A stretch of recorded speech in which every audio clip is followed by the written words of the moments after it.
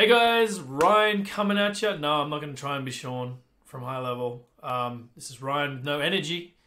Don't know how Shaun has as much energy as he does. I don't want to take what he is taking. But anyway, it is a Thursday afternoon, and this video is going to be for a snapshot that I have that allows you to do A B testing using omni channel outreach. So we're going to do voice, SMS, and email, and we're going to A B test that and we're going to let the system decide whether or not to use multi-channel using voice and SMS or just use email just by checking some details on the contact, right? So the idea here is that you can deploy this into all your sub accounts and then anybody can quickly say, great, I want to reach out to them on all the available channels and I want to have a variation on what we're saying. And we're going to continue to reach out to them until we get a response, essentially, right? So the beauty of workflows is that you can connect them together. So no longer do you have a million triggers, which is fantastic, um, but you also don't want one gigantic workflow that's completely immanageable, um, unmanageable, immanageable. It's one of those, and you know, from a troubleshooting point of view, a um, you know the ability to figure out what's happening inside of a workflow. If you have a gigantic diagram with a million elements on it like good luck right? So the best thing to do is to create smaller ones with conditions and evaluate them to true or false and then pass them off into another workflow right? Now i say that one of these workflows is quite big right? But for a reason right? When you're using like loops and things like that it has to be. Anyway here we go.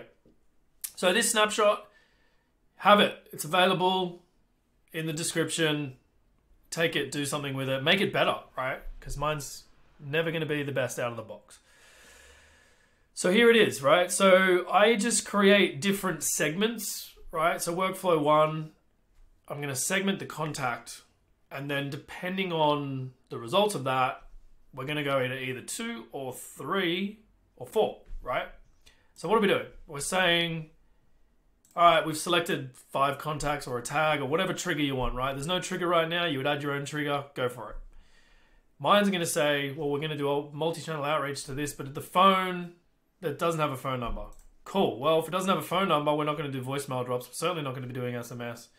So you choose a workflow that is either multi channel or you know is pure voicemail right so you could choose to do either of those right or you could say, no, well, I don't want to do any of that. I'm just going to do email only, right? Um, which I have as well, right? So pure voice and SMS because it's phone, or across all three channels, or email only, right? So make a decision right there. Then, so straight into voicemail and SMS, right? So you could be like, oh yeah, we're doing a voice only call, uh, voice only channel outreach and we're going to split test, right? So the way we do that is just add a tag, right, with A or something, and then check to see, well, did you add a tag A to that contact? And it'll say yes, use that voicemail. If it doesn't, use the other one, right? And then essentially B's will go over here and they'll get a the B variant of the voicemail, right?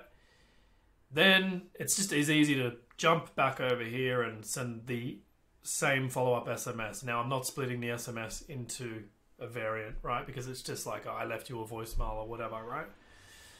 And then you know wait for a reply, and if they do reply, um, add them to a pipeline, do something with it.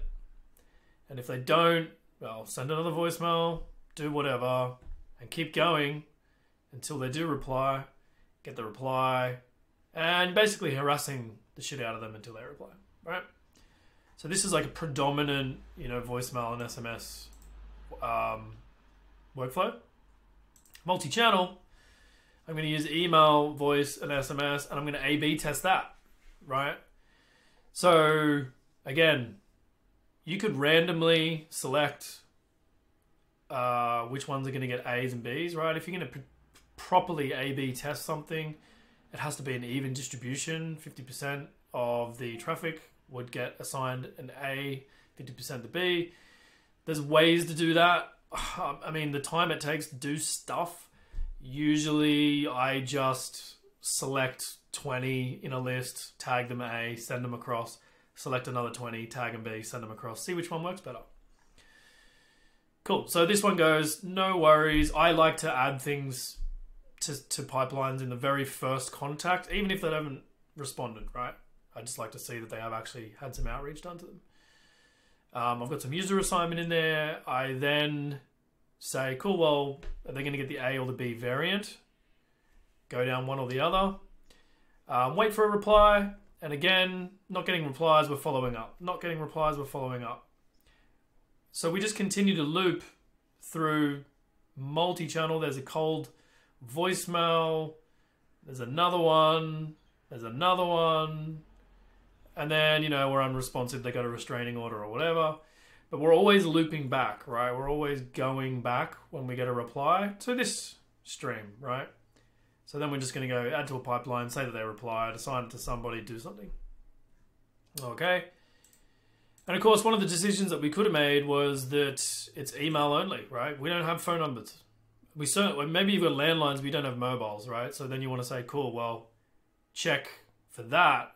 And if that evaluates to, no, it's just an email, the phone number is not a mobile, right? And there's ways you could do that. Then cool. Well, then put them into this one, which is email only. And again, split testing for A.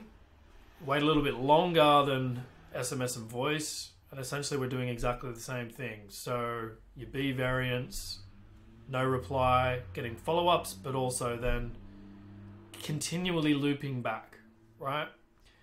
Now, if you're a big workflow person and you're not using go tos and you're not using adding to additional workflows to connect workflows, I highly suggest you do. I mean, even though these look big, they're pretty simple in what they're achieving.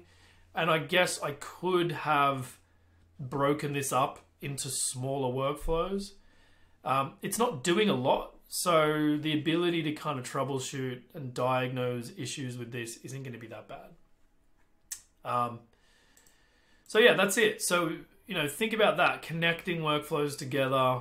Um, you know, think about it like a survey. You know, where surveys have qualification questions before they go on to the next survey, before they start the survey, because you're evaluating somebody on whether or not they should be answering the questions in your survey.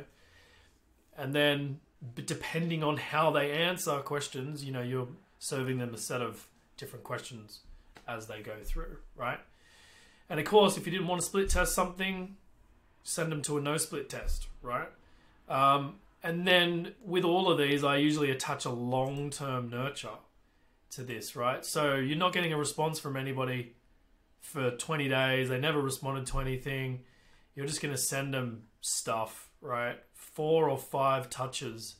Um, but you send it to them, you know, with a bit of a delay, right? Because they might have had the fatigue from, you know, getting a message several times in a short amount of time. Um, so yeah, let me know what you think of this in the comments. Please hit the like button because it helps me get recommended.